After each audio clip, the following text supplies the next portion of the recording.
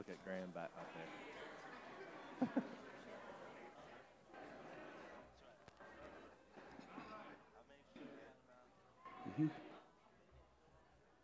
Mm-hmm. It. Good morning. Oh, no, no, no, no, no. Good morning. That's better. All right. And welcome on this Independence Day weekend. A lot of you know that every week we take up an offering, but a lot of people don't know that 12%, 12 cents out of every dollar that comes into our church, goes out to missions both here in the United States and around the world. And uh, a lot of times we go by time and we don't really think about our missions too much.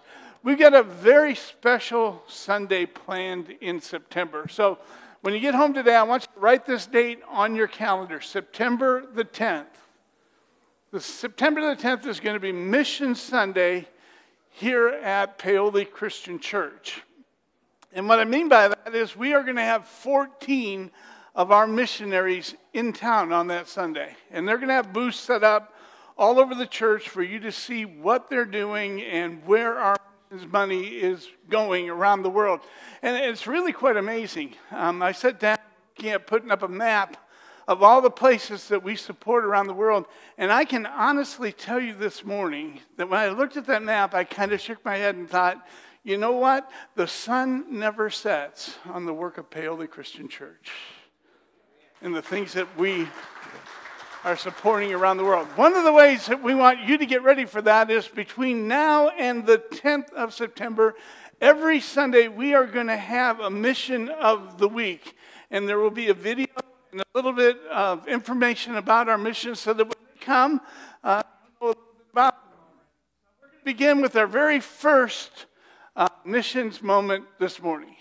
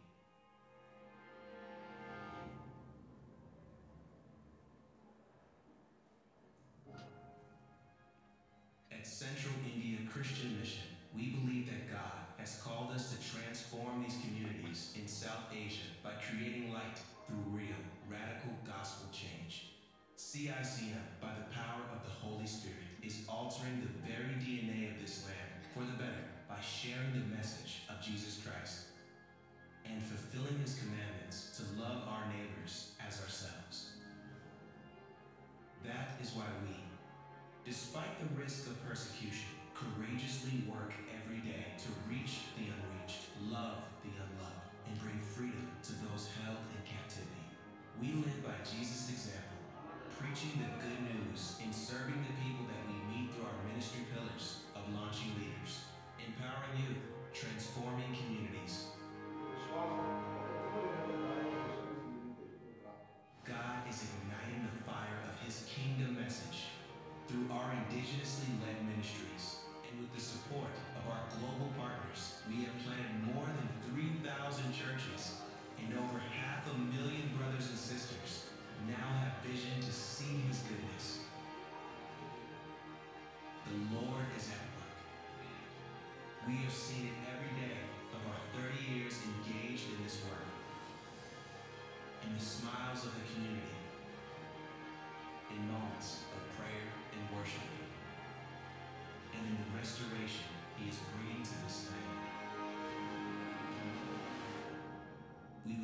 To invite you to be a part of what God is doing. Pray for our ministry.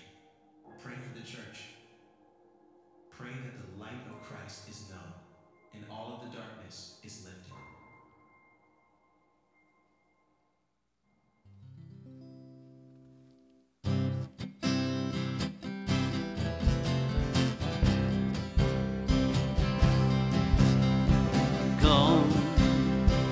Now is the time do.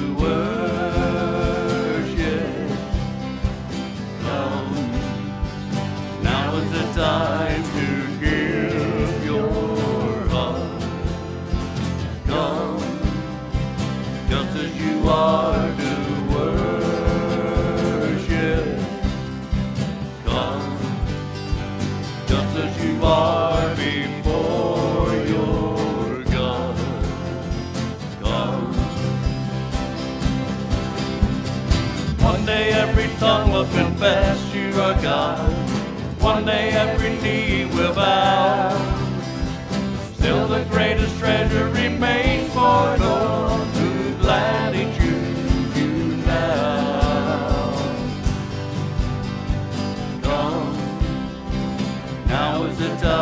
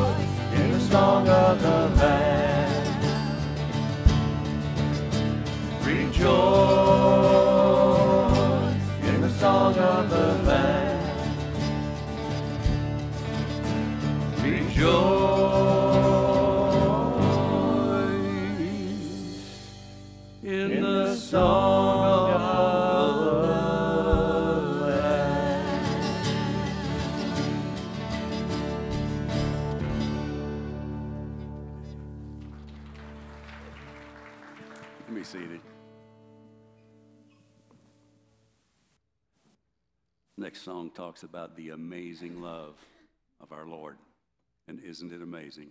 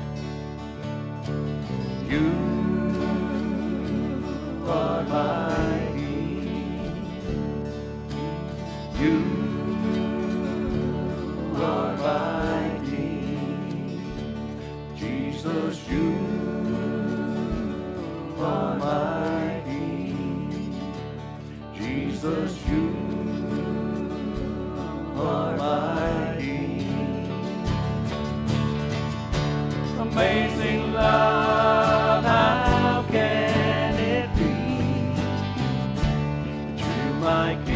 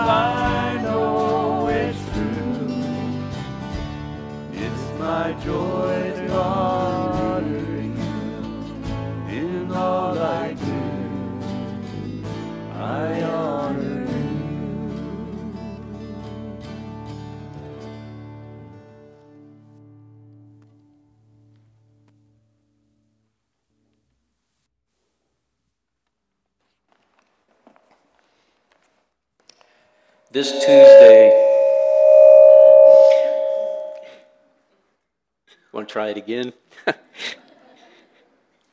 Okay, this Tuesday, July the 4th, is a day many will gather as friends and family with meals, picnics, fireworks, parades to celebrate Independence Day.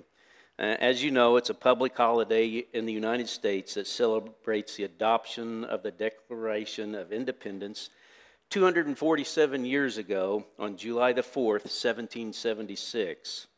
This declared the original 13 colonies to be free from British rule. Now, I want to think about a different freedom and celebration this morning. We celebrate this freedom each week with communion time in our worship service. We celebrate Jesus' death, burial, and resurrection each time we come to the table for communion. Listen to some of the words that Paul said about freedom that we have in Christ. In Ephesians, he says, according to his eternal purpose that he accomplished in Christ Jesus our Lord, in him and through faith in him, we may approach God with freedom and confidence. And then in Galatians uh, chapter 5, verse 1, it is for freedom that Christ has set us free. Stand firm then. Do not let yourselves be burdened again by the yoke of slavery. Christ has set us free from the burden and penalty of sin through our faith in Him. Jesus willingly went to the cross to die for our sins. He paid the price that we deserve for our sins. He died in our place. By Christ receiving the punishment for our sins, we have the hope and assurance of spending eternity with Him. So in John chapter 8, verse 36, it says, So if the Son sets you free, you will be free indeed. This morning, as we take communion, let your mind set on a freedom that is much larger, much more effectual, and much more eternal. This freedom is offered not only to Americans, but to all people. We join countless others from around the world this morning celebrating this freedom that we have been given in Christ. Let us pray. Lord, we just come to you this morning with thanks. We have thankfulness in our hearts, Lord. We just want to give you thanks that we have freedom from the burden of sin that we carry, that we know through our faith in you that, that you have taken our sins, died in our place, Lord, and we're just so thankful for that. Lord, we're thankful for your righteousness. Lord, we know that we can't live the life that we need to live, but you did and you can, and we have received that righteousness. Lord, once again, we're thankful. And Lord, we're especially thankful for your love. Lord, you continue to love us even when we're sinners. We just thank you for that love, for being with us, and, and always be in our presence. In Christ Jesus' name we pray. Amen.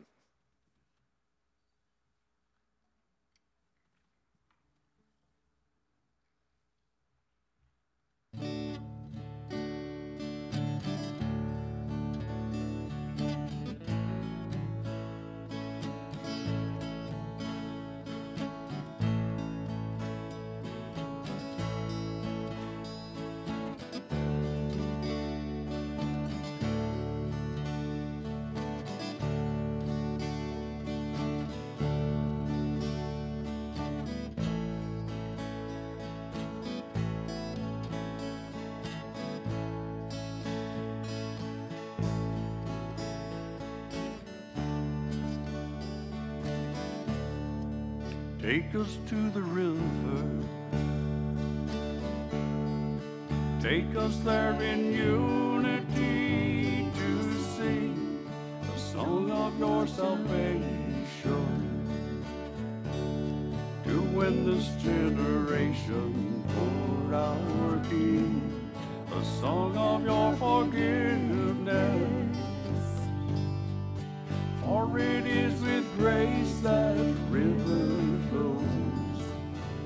Us to the river in the city of our God.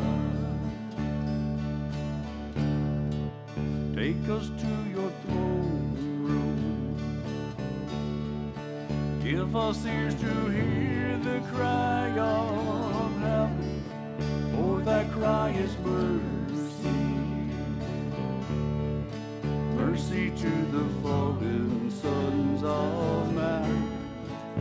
Mercy has triumphed, triumphed over judgment by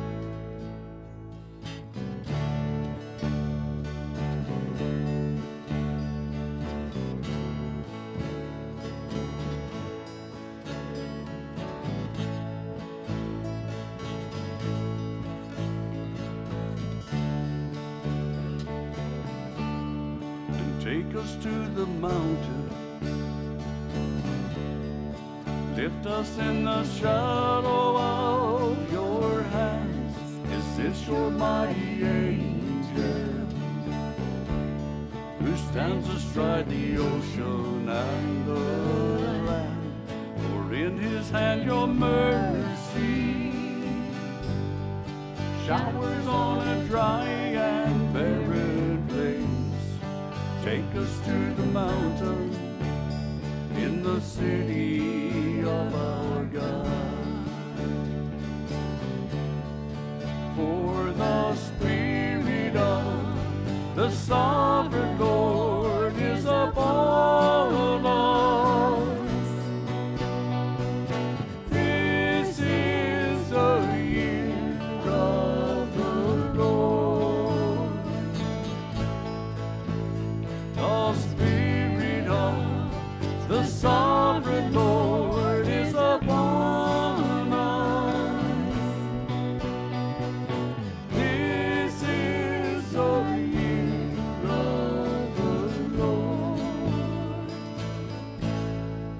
Take us to the river in the city of our God. Take us to the throne room in the city of our God. Take us to the mountain in the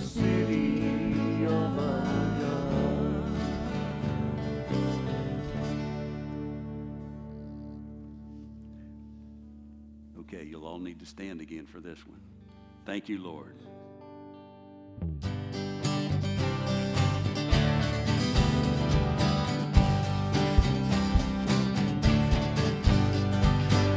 I come before you today. And there's just one thing that I want to say. Thank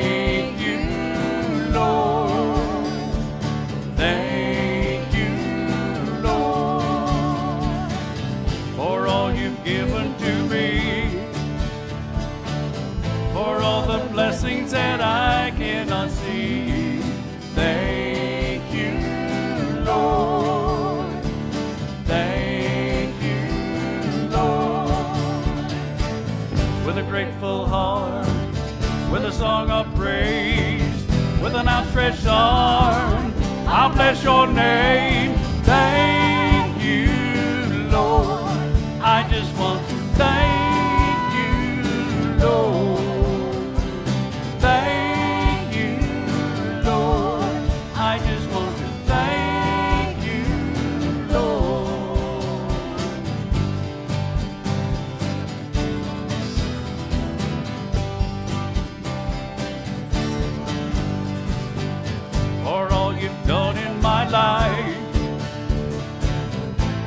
My darkness and gave me your light. Thank you, Lord. Thank you, Lord. You took my sin and my shame. You took my sickness and healed all my pain.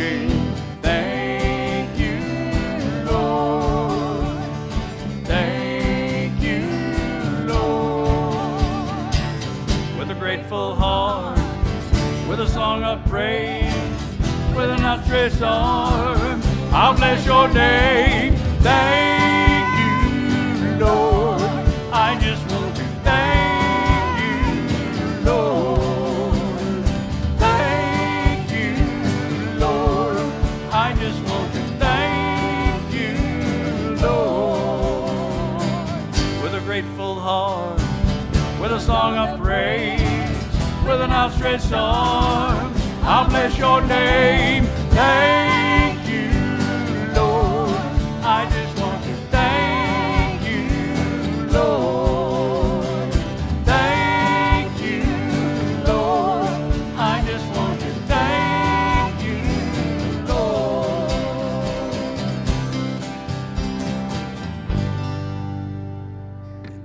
Lord. Let's pray. Our precious Heavenly Father, we come to you today. So thankful for all the blessings you bestow upon us. Father, for the homes that we have to live in, the food that we have to eat, for our health and our strength, for our jobs that provide for all of our needs. Father, all these are gifts from you. But especially on this weekend, we want to thank you for the gift of freedom. To be able to live in a land, Father, where we can gather together like this and worship and praise you in this place and not fear the persecution that others face all around the world. And yet, Father, because of all the freedom we have, because we can have your word in our home, sometimes, sometimes we take you for granted. And for those times, we ask your forgiveness today. But more than anything, Father, just fill this place with your spirit today. Draw near to us and let us draw near to you. So that when we leave from this place this morning, we can honestly say it's been good to be in the house of the Lord. For truly we felt you near. And to you be all honor and glory and praise, not just today, but forevermore. We pray in Jesus' name. Amen. Good morning. Hey, you guys did better that time. All right. It's Independence Day weekend, which is usually a time that we talk about freedom and the freedom that we have in America today. But I want to switch that a little bit today and talk about maintaining our freedom in Christ. There's, one time or other, we probably all said to our kids, don't go with a stranger. Did you ever do that?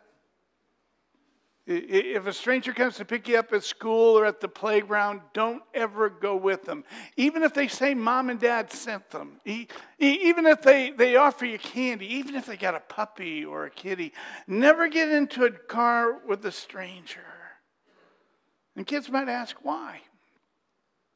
And usually our answer is because we're afraid the stranger might hurt you. Now, we don't like to frighten our children that way. That's not what we want to do, but it's sometimes necessary in the age that we live in today. And, and, and this morning, Paul is writing to the Christians in Colossae, and he's warning them not to be enticed away from the freedom we have in Christ by the false prophets of the world. In Colossians 2, verse 8, he says, See to it that no one takes you captive through hollow and deceptive philosophy. Satan has agents all over the world that would like to kidnap our faith. They'd like to, to destroy our hope in Jesus Christ this morning because, because Satan is a deceiver. The Bible tells us in 2 Corinthians 1 or 11, verse 14, Satan himself masquerades as an angel of light. And then in verse 15, it tells us, and his servants masquerade as servants of righteousness. Jesus warned us during his ministry on earth in Matthew 7, verse 15 watch out for the false prophets. They come in sheep's clothing, but inwardly they are ferocious wolves. And again in Matthew 24, 24, he says, For false Christs and false prophets will appear and perform great signs and wonders to deceive even the elect, if that was possible. And so he warns us even today to give heed to the fact that there are people in this world today that would love to take away the freedom that we have in Christ. And in Colossians chapter 2, he mentions three specific freedoms that we have that we need to hold on to tightly. The first he says is that we're free from the Old Testament regulations. And Colossians 2, verse 13, it says, When you were dead in your sins and in the uncircumcision of your sinful nature, God made you alive in Christ. Now, Paul doesn't say, you know, when you were a sinner, you were really sick spiritually. He, he, he, doesn't even say to us, you know, when, when you were a sinner, you were awfully close to death. No, Paul says you were dead in your sins. You had no spiritual life alive in you at all, but God, through Jesus Christ and his death on the cross, has resurrected your spiritual life from the grave. He, he's lifted you from that tomb, and now you have a whole new life in Christ, free from that spiritual darkness of the world around you. Free from sin, free from the guilt of sin. In verses 13 and 14, he says, He forgave us all our sins and canceled the written code.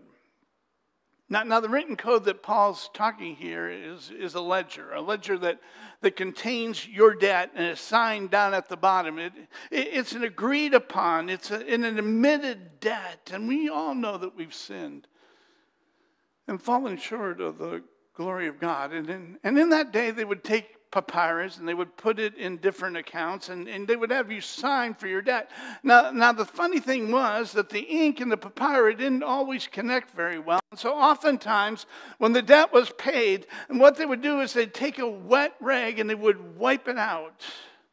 That they would clean the page. And Paul says that's what Jesus did for us on the cross. Through the great debt that Jesus paid, we know that our sins by the blood of Jesus have been cleaned and washed away, and we are forgiven of even our guilt. But, but he goes beyond that. He says, You're not just free from the guilt, you're free from the law. Verse 14 says, Having canceled the written code with its regulations that was against us, he took it away, nailing it to the cross. In the Old Testament, God made a covenant with man. He he gave them a set of laws and said, if you can follow these laws, if you can live this kind of life, then you can attain eternal life. And, And I think at first Moses and the people thought, this is great. Now we have a way to come back to God. But it didn't take them very long to realize that nobody's saved by the law. Nobody could live a good enough life. Nobody could follow the code, follow the rules. So God canceled the code. The Bible says, nailing it to the cross.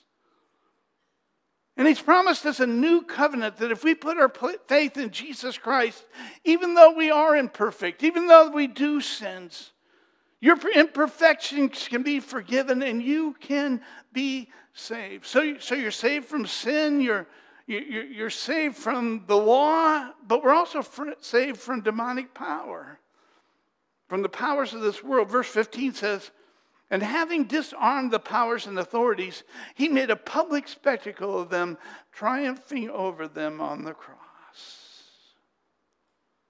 The Bible teaches that Satan got proud one day, began to think that he could be God, and basically tried to hold a revolution in heaven. And a third of the angels followed after Satan, but God was too powerful, God was too strong, and Satan was cast out and thrown here to earth where Satan has plagued mankind ever since. But the picture of Jesus on the cross is that Jesus has overcome Satan once and for all.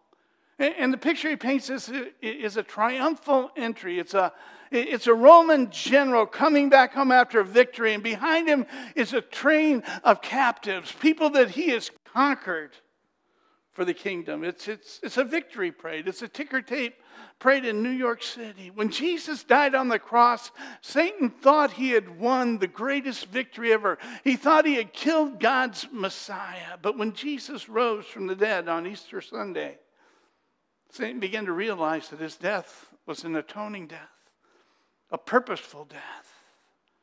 That on the cross, Jesus triumphed over the enemy once and for all. He's, he's disarmed Satan, and, and now we're free from sin and the law and the spiritual authorities of this world.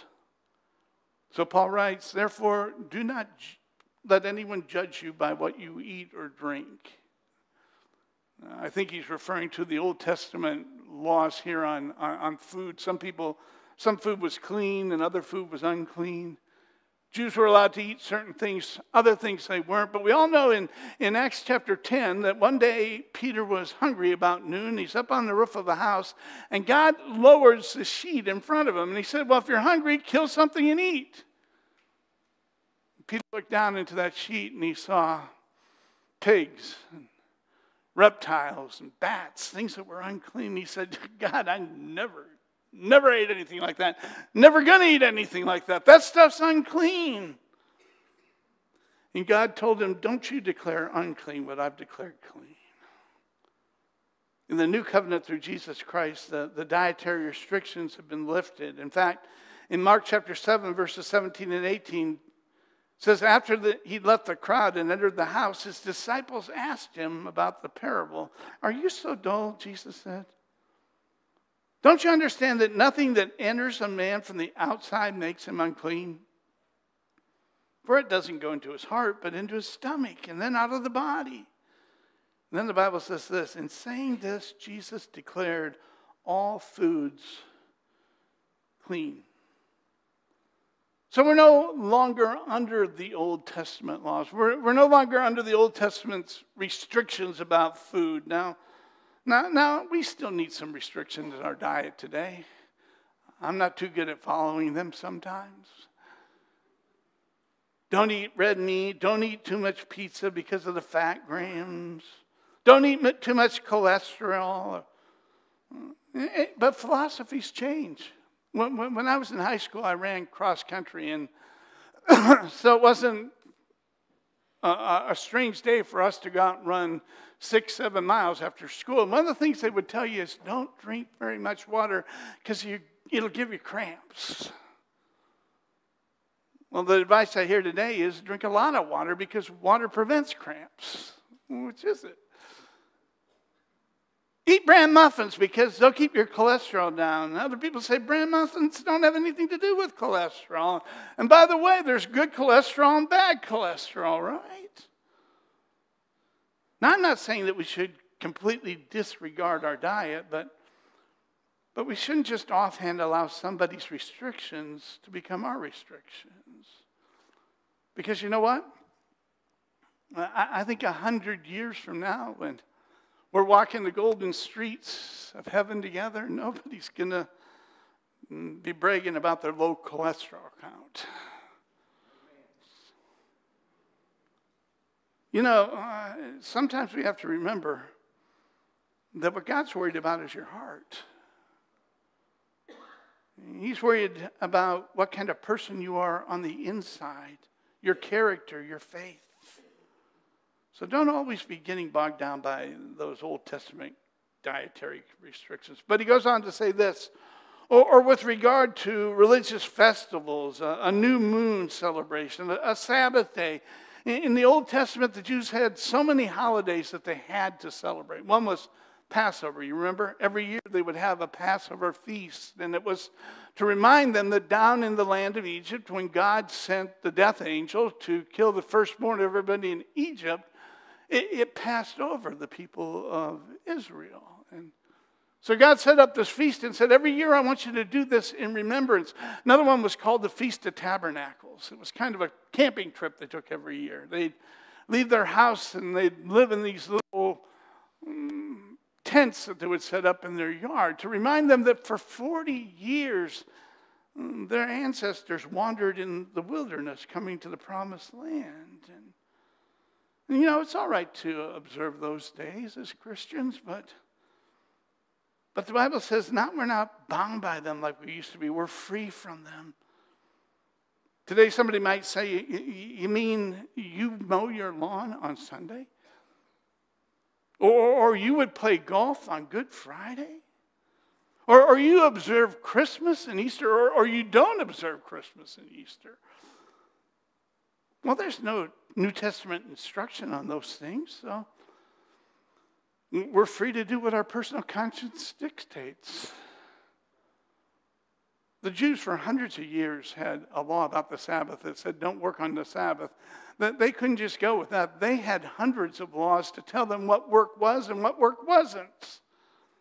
And they became so wrapped up in the laws. But, but Jesus said, don't let those things bog you down.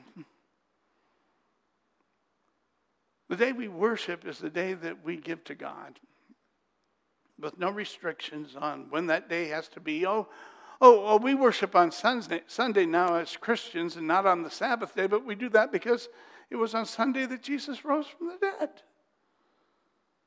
But Paul says in Romans chapter 14, one then they regard one day as special, and another regards all days alike. But let each one do it according to his own conscience. We're we as Christians are free to worship God on Sunday or on Wednesday night or on Friday night or anytime we want to worship. Paul writes that we shouldn't get bogged down with Old Testament restrictions. Why?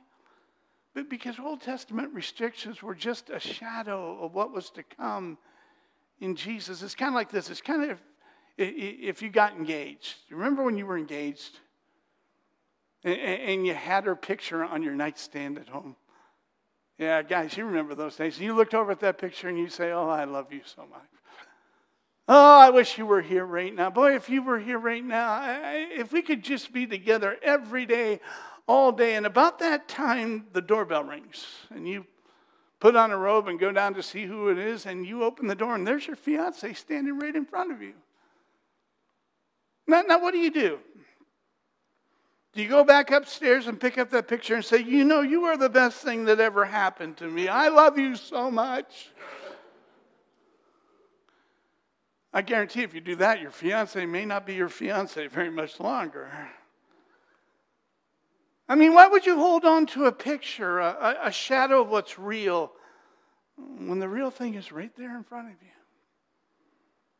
And Paul's saying that those Old Testament feast days, those Sabbath days, those dietary restrictions were preparing us for the coming of Jesus. But now we abandon those things. We, we, we put them behind us because we've found the real thing. And when you've got the real thing, you don't go chasing shadows anymore. But he also says we're, we're, we're free from New Age revelations. You, you know, there are two characteristics the Bible gives us of false prophets. The first is that they delight in false humility in the worship of angels. Colossians 2:18 says, "Don't let anyone who delights in false humility and the worship of angels disqualify you from the prize." Now, now you need to understand where this is coming from. The, the, the basic false teaching in the world in that day was a thing called Gnosticism. Now, let me just explain it to you real quick. Gnosticism says anything material is sinful. Our, our, our, body, the things of this world are, are, are all sinful. In fact, they went to the point that some of them said, you know, Jesus wasn't really a person. Jesus was just a spirit who looked like a person because, because he wasn't sinful, because he wasn't material. That's why John writes in 1 John 4, verses 2 and 3 this is how you recognize the Spirit of God. Every spirit that acknowledges that Jesus Christ has come in the flesh is from God, but Every spirit that does not acknowledge Jesus is not from God. So these people try to act so humble. They say, you know, we're just material, we're just sinful people. We can't really talk to God. But, but what we got is we've got this special angel, this, this, this, this connecting person. And, and we go to our angel, and our angel goes to God with our message. And Paul says that's false humility in the worship of angels. Warren Wiersbe put it this way trying to reach God the Father through anyone or anything other than Jesus Christ is idolatry. Jesus Christ is the only one, He's the mediator between God and man. So, anybody who worships or saints and says, you know, I, I don't really think I have the ability to God because I'm just not good enough. So, so I'm going to go to God through an angel. I'm going to go to God through through St. Peter, and, and, and they're going to take my request to God. You know, when you do that, you're not being humble, you're being bold. You're saying, God, your way's not good enough. Because Jesus said in John 14, verse 6, I am the way, the truth, and the life. No one comes to the Father, what? Except through me. You don't go through an angel, you don't go through a saint. In the book of 1 Timothy, chapter 2, verse 5, it says, For there is one God and one mediator between God and man, the man Jesus Christ. So don't let anybody deceive you with their false humility, saying, Oh, you know, I'm just not good enough. But, but thank goodness God's given me this special person to take my message to God. Paul says, Don't let those people disqualify you for the prize.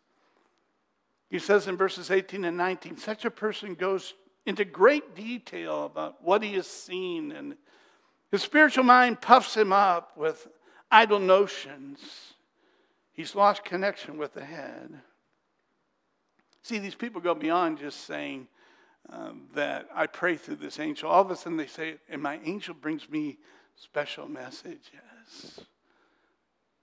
You know, things that you don't know that I know. Catholics sometimes will say, you know, Mary's been seen in this certain area. And if you go there and you see Mary, she'll give you a special revelation. Or Shirley MacLaine or New Age prophets claim that, that, that they've had these out of body experiences. Have you, you heard it? You know, we embraced the light and God gave us a special message that that really there is no hell and that all religions are okay and, and we're all going the same place anyway. And when people claim that they have New Age re- revelations, what's our reaction supposed to be? Do you believe that God speaks today like he spoke in the past? I think our first reaction needs to be to be skeptical. In fact, I think that's biblical. In 1 John 4, verse 1, it says, Dear friends, do not believe every spirit, but test the spirits to see whether they're from God. For many false prophets have gone out into the world. When somebody comes to you with a new revelation, something you've never heard before, you be legitimately skeptical. That, that's a spiritual thing to do. The second thing you ought to do is measure their revelation against what the scripture says. God doesn't contradict himself. God, God is not going to say something in the Bible 2,000 years ago to teach us and then come back and say something else today. James 1, verse 17 says, Every good and perfect gift is from above, coming down from the Father of heavenly lights, who does not change like shifting shadows. James says, God doesn't change. He, he's not going to say in the Bible, nobody comes to the Father except through me. I am the way, the truth, and the life. And, and, and then say today, but you know, there are a lot of other ways you can get to God. So today, I think we got to remember that whenever anybody comes to us, check out what they say against the Bible. It's the only true revelation from God. And the third thing we need to do is examine the life of the one making the revelation. Do they exemplify the fruits of the Spirit love, joy, peace, patience, kindness, goodness, gentleness, faithfulness, self control? Are, other revelations that they made coming true? Jeane Dixon put herself forward for years as a modern day prophet, even though most of her predictions never came true. Watch out for the stranger. Be careful of the New Age prophet who comes to you with new revelation. Don't let them lead you astray. And be skeptical of new revelation. Line it up with Scripture. And examine the life of the person proclaiming it to see if they're really from God. 2 Timothy 3, verses 16 and 17 says, All Scripture is God breathed. And it's useful for teaching, rebuking, correcting, and training in righteousness, so that the man of God may be thoroughly equipped for every good work. God said, You have everything you need to be equipped for every good work in the Bible. You, you don't need any more revelations today. You don't need anybody teaching you anything new. But one more other area that we need to watch out for, and, and that's man made restrictions. Colossians chapter 2, verses 20 and 21 says, Since you died with Christ to the basic principles of this world, why, as though you belong to it, do you submit to its rules? Do not handle, do not taste, do not touch. Now, now, since they believe that all matter is evil, they said, don't ever touch matter. You know, I think, I think we've changed it around today. I, I think we made the world God, don't you? So we say to people, well, don't cut down that tree. You, you know, you're destroying nature. Don't, don't move that ditch because you could scar the earth. Don't touch that wetland or that wooded area because it could be a habitat for endangered species. When we were living in Williamstown, Kentucky, they began to put in the Ark encounter. How many of you have been to see the Ark?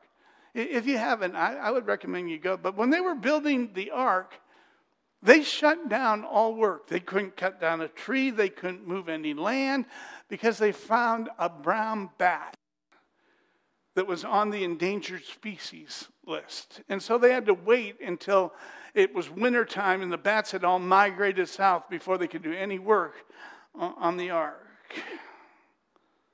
You know, sometimes I think in the world today, we've made the world God. The environment has become our God. Don't handle, don't touch, don't damage. And Paul writes and says, don't get caught up in these worldly, eccentric philosophies. You know, when I grew up, we had a lot of rules too. Did you? I remember my grandparents say, now don't go to dances, don't play cards, and, and, and, don't go to the movies or to the pool hall, and, and you probably shouldn't go to the bowling alley either. All kinds of restrictions. We ask ourselves, but, but what's wrong with restrictions? Well, I think three things if we're not careful. Number one, they're temporary. They're destined to, to, to perish with use because they're not from God, they're from man. Well, why is it that we don't hear that as much anymore? I don't hear many, many parents telling their kids like they used to, well, you don't, don't go to dances. Don't ever play cards. You probably shouldn't see a lot of movies. Is it because we're not as spiritual as we used to be? I don't think so. I, I think those were just human traditions, Human traditions have a tendency to, to pass away. So watch out for restrictions because they're temporary. And the second reason I think they're wrong is because they're deceptive. Paul writes in verse 23 such regulations indeed have an appearance of wisdom, but their self imposed worship, their false humility, their harsh treatment of the body, but they lack any value in restraining sensual indulgence. He says, you know, some of these rules we come up, they, they appear to be so wise. Every once in a while, I have people come to me and say, you know, the, the, there's a new church starting out there, and I mean, they're setting people straight. Women aren't allowed to wear pants in that church. No, you got to wear a dress every Sunday. And guys wouldn't dare wear blue jeans in church. Boy, they, you need to wear a tie and a coat and dress up. They can't smoke on church property. And they're required to attend Wednesday night service if they're going to be a member of the church. Boy, you know, they've really got their act together. They may be appearing to be spiritual, but I don't think that's humble sometimes. Sometimes I think that's just building ourselves up, making ourselves look good, and it's deceptive. But thirdly, in the long run, they're ineffective. Catch that last line? They lack any value of restraining sensual indulgence. When I was in Williamstown, Kentucky, the, just outside of town, they have a, a ministry called Pure Life. It's uh, a campus, a kind of a camp where, where, where men who have trouble with pornography, who, who are addicted to sex, they say, go to this camp and, and, and, they help them. They, they, they live there for about six months and, and they get away from the things of the world and they help them to get a handle on their addiction. And, and you know, the funny thing was, that there was a group that had a lot of people in that camp. It really surprised me. They were Amish with all their rules and the appearance of spirituality. They were never successful in restraining sensual indulgence. Hmm. Paul says, You may think that these additional rules are going to make for a successful and effective life in Christ, but in the long run, they're ineffective. Jesus is our only hope. And if you're battling a temptation of sin in your life today and you think you're going to get it, you're going to take it down, you're going to beat it, Paul says you're kidding yourself until you get Jesus Christ in your heart and in your life. But let's wrap this up with just a few principles that I want you to take home with you this morning. The first is this you're free in Christ, so enjoy it. You know, it's a, a wonderful day when we finally realize that, hey, I don't have to carry the burden anymore. I, I don't have to carry the guilt and the pain of those sins around anymore. When, when I talk to people who visit our church, one, one of the things I love is, is many times when I talk to them, I say, what, what, what brought you back? They said, you know, the people here are so friendly. I love to hear that. And here's what they say, and they genuinely seem to enjoy being here. In other words, church to them is not a burden. they like going to church. And that's the way it ought to be. David wrote in Psalm 121, verse 1 I rejoice with those who said to me, Let us go to the house of the Lord. I told you a couple weeks ago that one day I asked my dad, Do we have to go to church? He said, Son, we don't have to go to church. We get to go to church. Church is a pleasure. But the second principle is this though you're free in Christ, don't flaunt it. Don't flaunt it. Romans 14 tells us that we have new freedoms in Christ. But, but if your freedom causes your brother to stumble, then you're wrong. If you feel like Christ has freed you to do certain things in your life, and you have a brother over here who's not comfortable with that, and, and you're causing him problems, and, and he's stumbling in his faith because of you, you are wrong. You may be free, but don't flaunt it. We need to be sensitive towards others who feel different. Don't, don't destroy your witness, and certainly never destroy a brother over a matter of opinion. The final principle is this you're free in Christ, but don't abuse it. Don't abuse it. I love this. Paul writes in 1 Corinthians 6, verse 12 Everything's permissible for me, but not everything's beneficial. Everything's permissible for me, but I will not be mastered by anything. Don't let your newfound freedom become a license to say, you know, there's nothing I can't do. But live the life you know you should. A train without tracks is not free, it's broken. And a Christian without some guidelines is not free. So, so study God's word. Look at the perimeters that God has set up for you. And don't allow somebody to come with their self imposed rules that are outside God's guidelines to tell you how to live. But be careful. You're free in Christ, but don't abuse it. I like the way that Keith Erickson said it. He said, Freedom is like a tree that's planted by the water. Uprooted, it's free only to die. But it's truly free when it remains attached and has something that's life giving to buy into. And that's what we have this morning in Jesus Christ. In John the 15th chapter, Jesus said, I'm the vine, you're the branches.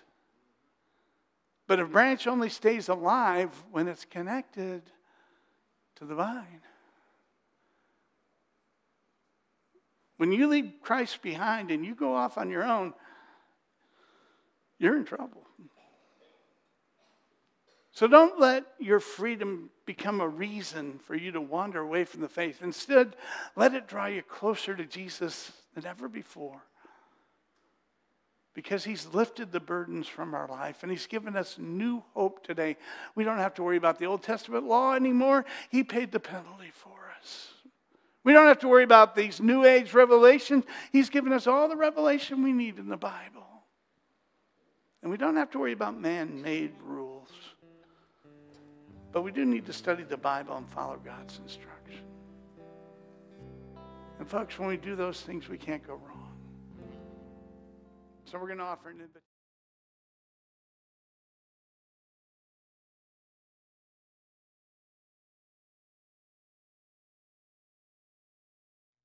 Hi, I'm Gary Swick, and I'd like to thank you for listening to the message this morning at Paoli Christian Church. We hope that what you've heard has touched your heart and encouraged you in your walk with God. We would really like to hear from you if you have any spiritual needs that we might help you with. You can contact us by looking for us online at paolichristianchurch.org or by phone at 812-723-2664. Paoli Christian Church is located at 1700 West Hospital Road in Paoli, Indiana. Once more, thank you for listening and I hope that you'll listen again next Sunday as we worship God together at Paoli Christian Church.